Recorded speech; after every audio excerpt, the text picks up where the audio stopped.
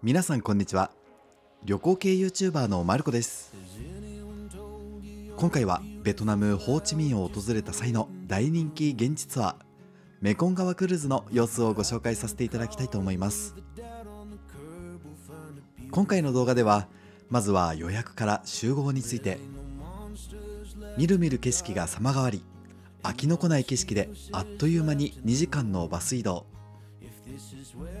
メコン川ツアーの定番立ち寄りスポットビンチャンジのご紹介。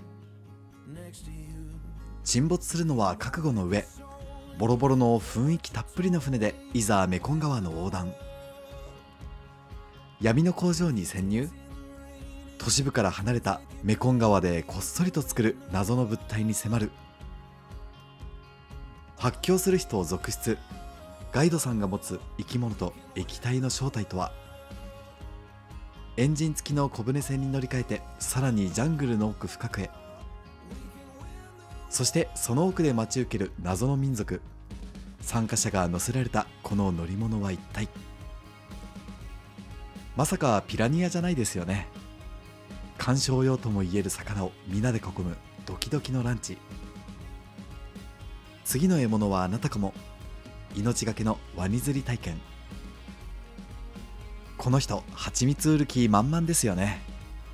蜂蜜農園で謎の死因。そして首に蛇を巻く儀式。ツアーの最後を飾る。フルーツを食べながら民族音楽にて最後の宴。このような流れでお届けしたいと思います。また別の動画でホーチミンの定番観光スポットを14カ所ご紹介している動画やベトナム旅行に初めて久しぶりに出かける方に向けて日本出国から現地到着までの流れ空港からの移動や SIM カード地図アプリタクシーアプリなどの旅行中の必須アイテムなどさまざまな役立つ情報をご紹介しております。そちらもぜひご覧いただければと思います。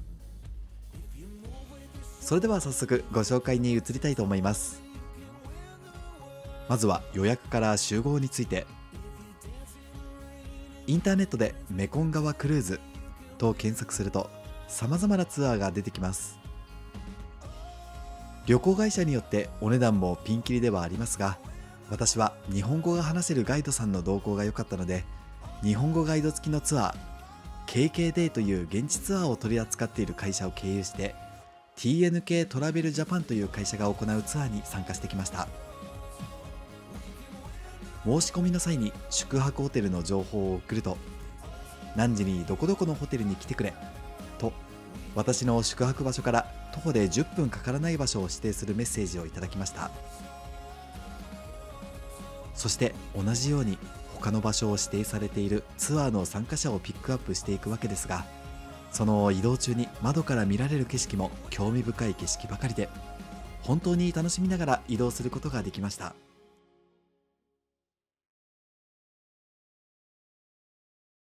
また日本語ガイドのツアーを選んだというのも良かったと思えたポイント。というのも参加者十数名全員が日本の方になりましたので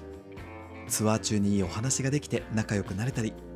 マナーのいい方ばかりでしたので何のストレスもなく過ごすことができました。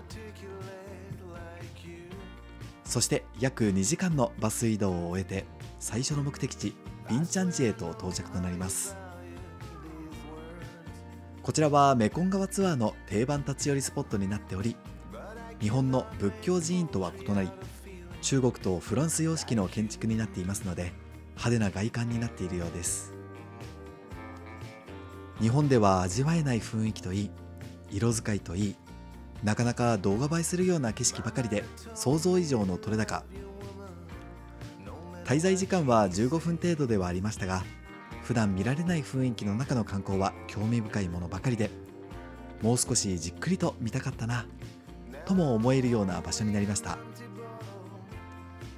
そしてそこから少しバスを走らせたところでこのツアーの大本命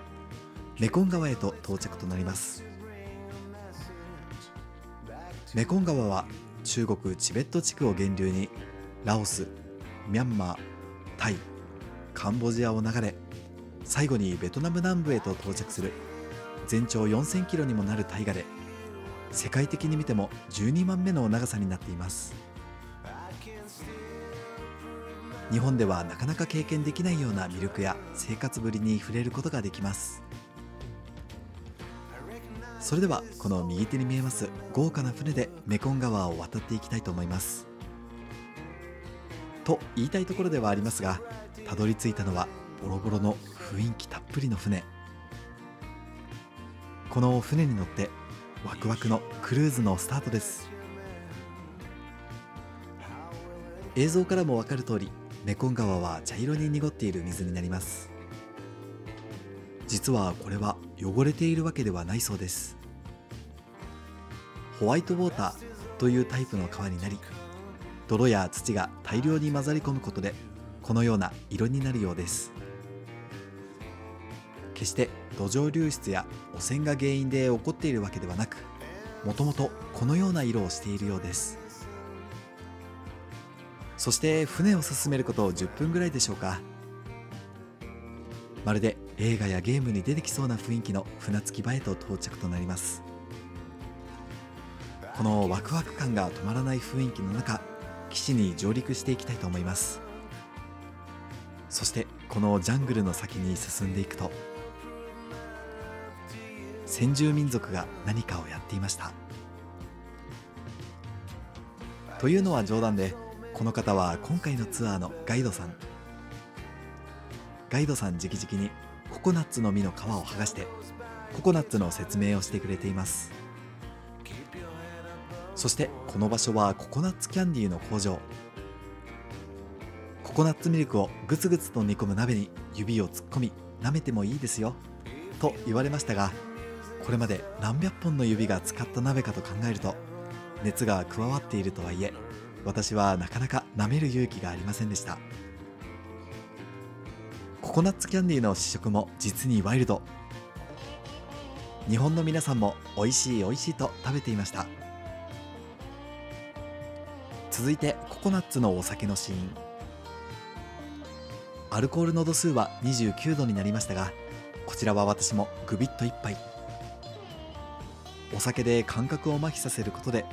この後何が出てきても大丈夫そうです。そしてこちらはヘビのお酒。容器の中にはヘビ以外にもトカゲなども入っておりガイドさんが素手で持ち上げるたびに悲鳴が聞こえてきました。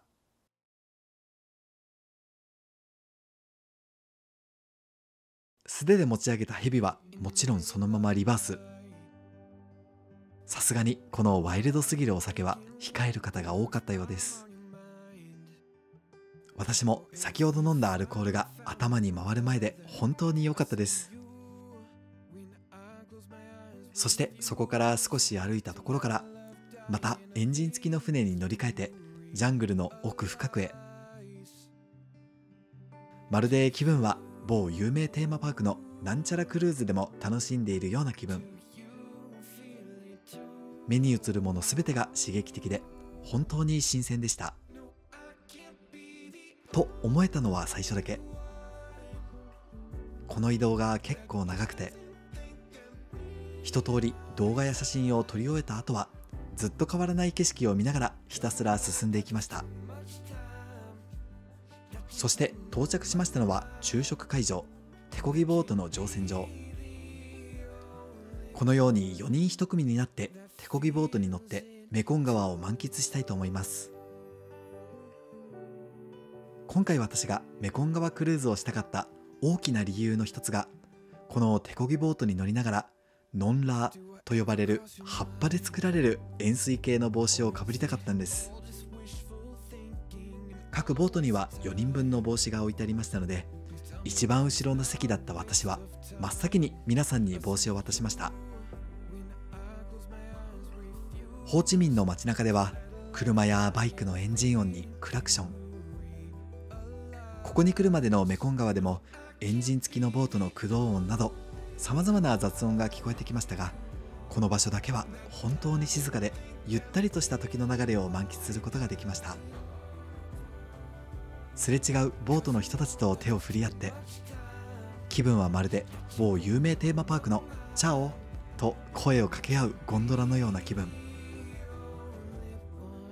そのアトラクションの水が茶色になったバージョンだと思っていただければイメージはぴったりかと思います。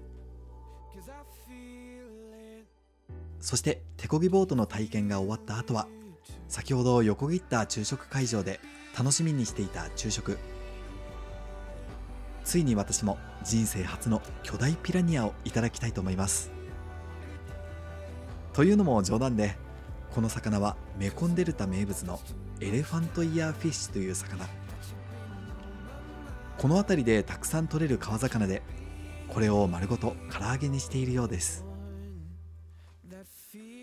私はもともと魚介類が苦手ということもあってお箸をつけることはできませんでしたが食べた方の感想としてはメコン川を感じることができる味とのことでした。